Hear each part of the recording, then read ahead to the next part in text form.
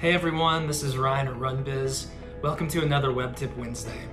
This week we're discussing another feature that's available in Microsoft 365, formerly known as Office 365. That's a huge help when it comes to scheduling a meeting with a group of coworkers. The concept is simple. You choose your attendees, select a few times that could potentially work for the meeting, then let people vote on their preferred times. Your attendees will see a visual summary of voting to date to help them make the best decision possible.